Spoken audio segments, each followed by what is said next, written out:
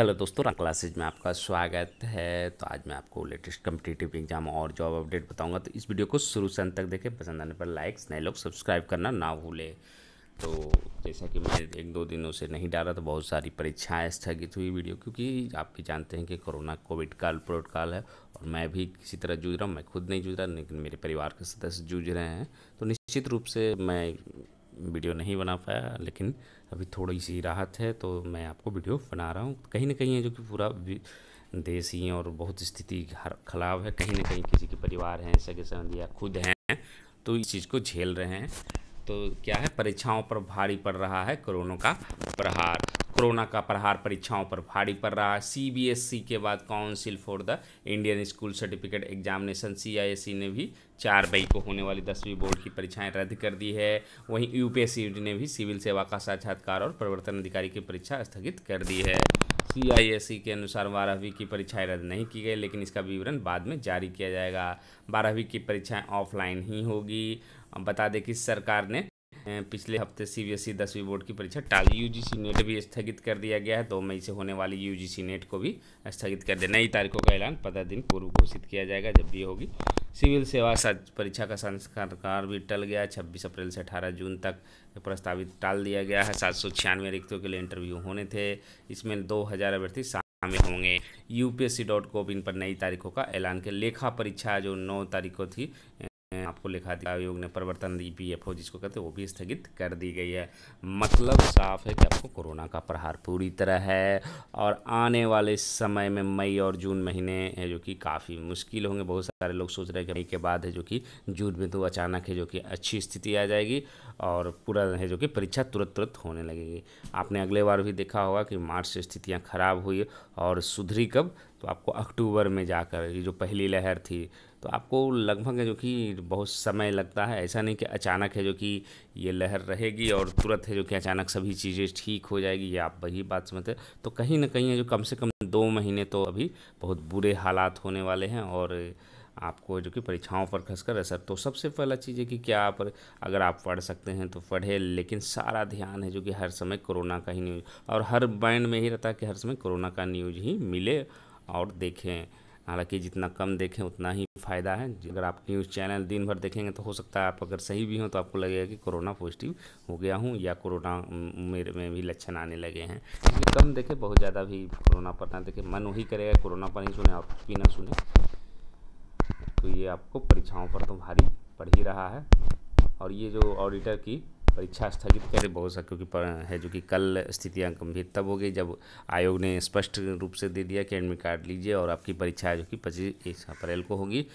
छात्राओं का भी बहुत अनुरोध किया गया कि आप है जो कि किसी तरह स्थगित कर दें, क्योंकि लोग है जो कि अभी अगर खुद भी ग्रसित नहीं है तो कम से कम अगल बगल ही देखते हैं या परिवार के साथ काफ़ी जो कि परेशान है और खाली सिर्फ़ और सिर्फ़ जो कि बुरी खबरें ही मिल रही इसीलिए है जो कि और अस्पतालों की भी आप हालात देख रहे हैं क्योंकि ऑक्सीजन की कमी से लेकर सभी सभी अस्पताल जाने इसीलिए जो कि आप लोग जो कि सतर्क रहे, सावधान रहिए। देखिए कोविड नाइन्टीन के संक्रमण कारण ये जो है, आपको ऑडिटर की परीक्षा भी रद्द कर दी गई थी। आपको सड़सठ दो हज़ार बीस और अब पच्चीस अप्रैल को अब नहीं होगी। तो बहुत सारी परीक्षाएँ हैं आपको देश में अगले तीन हफ़्ते बेहद नाजुक जाँच बढ़ाएँ तो आप लोग सोच सकते हैं कि तीन हफ़्ते मतलब इक्कीस दिन हो गई और इक्कीस दिन के बाद अचानक है जो कि सुधार हो जाएगा और परीक्षाएँ लिए जाने लगेगी। तो आप इन चीज़ों की नहीं आप भी इस चीज़ को समझ रहे हैं कि बहुत सारे लोग जब बीपीएससी ऑडिटर की रद्द हुई तो उनको लग रहा था कि मैं दे ही देता तो अच्छा रहता क्योंकि उनको सुविधा थी। बहुत सारे लोगों को डर है। तो निश्चित रूप से ये परीक्षा स्थगित कर, बहुत अच्छा कदम था। ये बीपीएससी का और होनी भी चाहिए। ऐसे हालात में परीक्षा देने का कोई मतलब नहीं है। आप तैयारी करते रहे। और तीन मतलब मई और जून में, फिर है ये जो परीक्षा की आप देख रहे हैं, कल सीएसबीसी ने भी निकाला शारीरिक दस्ता परीक्षा के लिए। हालाँकि आयोग पर कोई प्रतिबंध नहीं है तो आयोग है जो कि नोटिस निकाल दे रहा है। और ये आपको परीक्षा है जो कि सात मई से है, जो कि शहीद राजेंद्र प्रसाद सिंह, राजकीय उच्च विद्यालय पटना में। हालाँकि मुझे नहीं लगता कि ये परीक्षा हो पाएगी। हालाँकि आयोग अपना काम कर रहा है, कहीं रोक टोक नहीं है। और स्थिति हो सकता है कि कुछ है जो कि आपको और कड़ाई देखने को मिले। अभी तो दुकानों ही तीन दिन किया गया है और हो सकता है और भी कड़ाई मिले। तो ये परीक्षा संबंधी फिर भी आप इसके लिए तैयार हैं। जब आयोग ने नोटिस निकाल दिया है तो आप अपनी तैयारी करके रखें। चालक सिपाही का ये सत्रह सौ बाईस के लिए। तो मई में तो संभावना नहीं है। जून में जो क्या बीपीएससी जो छियासठवीं है, क्या हो गया? ऐसे हालात में तो मुझे नहीं लग रहा, लेकिन अब देखना अभी जून है, अभी समय है। लेकिन हालात अभी स्थिर नहीं है और जून तक तो मुझे नहीं लगता कोई उम्मीद है किसी भी प्रकार की कोई परीक्षा हो पाएगी। और तो क्या ये बिहार एस आई प्री अचानक क्या जून में हो जाएगी? तो ये भी हालात बिल्कुल नहीं है, अभी तो उसकी डेट भी की चर्चा नहीं है। जिसकी डेट है वो तो कैंसिल हो रही है।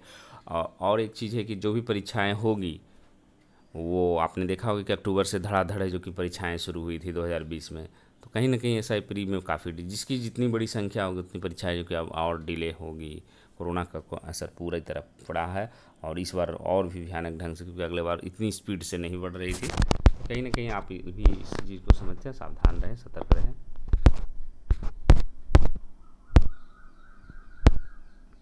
पंचायत सचिव घर बांटेंगे घर घर बांटेंगे मास्क की। मेरा बताने का ये उद्देश्य है कि आप पंचायत सचिव, बहुत सारे लोग बनना चाहते हैं बीएसएससी इंटर लेवल में।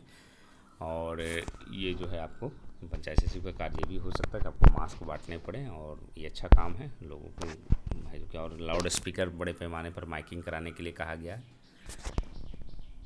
अच्छा मास्क की कीमत न्यूनतम सौ रुपया होगा तो ये आप देख रहे हैं पंचायत सचिव का ये कार्य होगा।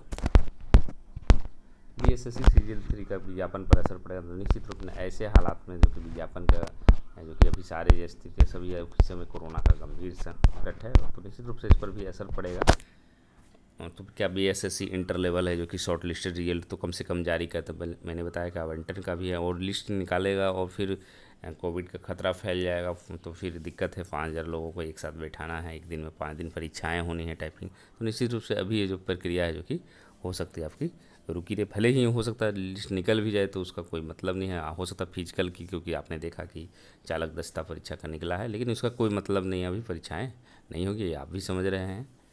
तो आप लोगों को थोड़ा पेशेंस रखना पड़ेगा, और पेशेंस रखे भी है सात सालों से जब पेशेंस रखे तो अभी भी रखना ही पड़ेगा, और कोई चारा भी नहीं, आपके निराश होने से कुछ नहीं होगा। आप जो कि सतर्क रहें, सावधान रहें। और अगर परेशानी है, जिस तरह से अगर आपको कोविड नाइन्टीन का अगर हो भी गया है, बुखार है तो आप है जो कि तुरंत जाँच कराएँ। जाँच नहीं कराए कम से कम जाँच रैपिड जो एंटीजन है, वो तुरंत रिपोर्ट दे देता है। भले R T P C R में जो कि डिले होती है।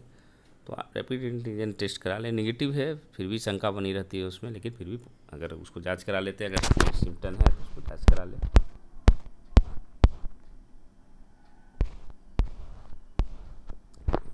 और अनुवादक के रिज़ल्ट, ये सब सब सारे चीज़ों पर है जो कि असर पड़ा है। ऐसा नहीं कि सिर्फ़ परीक्षाओं पर, रिज़ल्ट पर भी असर पड़ेगा। रिज़ल्ट निकल सक, सबसे आसान जो है, आपको रिज़ल्ट निकल सकते लेकिन अभी वन थर्ड है, ऐसे भी ऑफ़िस हैं, और उसमें भी कोरोना संक्रमण का काफ़ी बढ़ा हुआ बी से लेकर बीपीएससी में। तो अभी ये जो कि स्थिति गंभीर है तो वो भी डिले हो सकते लेकिन रिज़ल्ट निकाला जा सकता है, लेकिन परीक्षाएँ और विज्ञापन के तो हालात अभी बिल्कुल नहीं है। तो इसी के साथ धन्यवाद।